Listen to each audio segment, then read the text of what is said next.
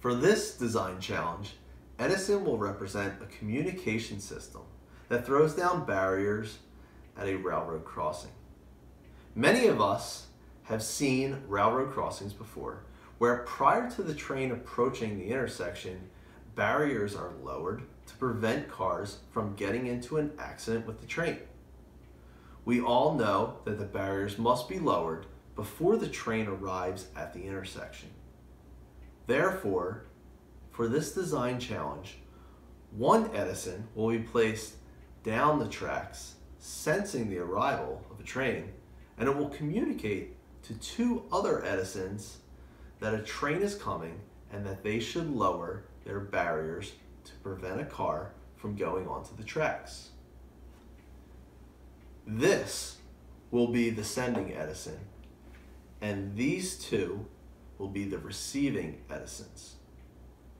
As you can see, here we have a railroad track set up with Edison identifying an approaching train and sending a signal to two other Edisons with white barriers attached to them.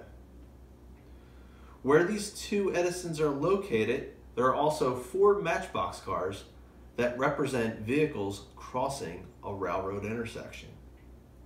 A program should be written that sends a signal from one Edison to the others and communicates to them to put their barriers down and flash their left light.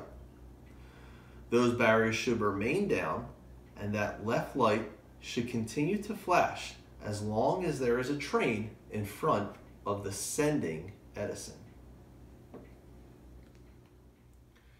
This is how a successful program should work. Here I have a toy Matchbox train set and when this train, or any of these trains for that matter, cross paths with this Edison robot right here, it's going to send a signal to these two to throw their barriers down. And these barriers will remain down as long as there is a train in front of this Edison. So at this point, let me turn on these Edisons. Now you don't need to do this design challenge with three Edisons. You could also do this with two Edisons. And you will notice also when the barriers go down, the lights come on as well to signify a train is coming.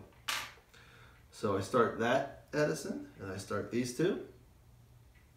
And at this point, there is a communication that's taking place between the Edisons. Train is coming. The train arrives and the barriers go down. And as long as there is a train in front of this Edison here, these barriers will remain down. Once there is no train, well, the barriers then go up. This allows cars to cross the intersection.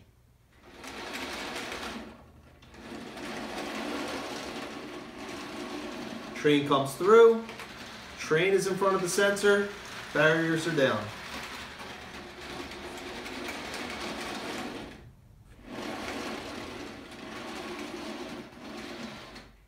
Now, if you have a really long train, well, those barriers are going to stay down for a really long time.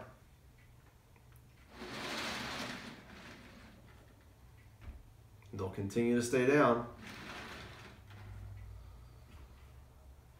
as long as there is a train in front of that sensor.